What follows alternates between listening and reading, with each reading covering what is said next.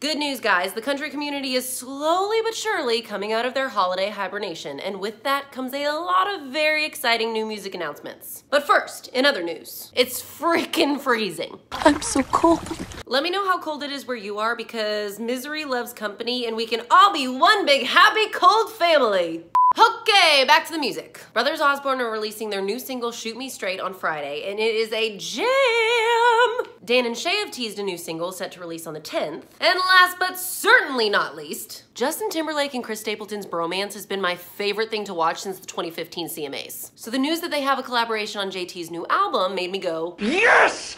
Yes! and if you're not a fan of Justin Timberlake, you can just.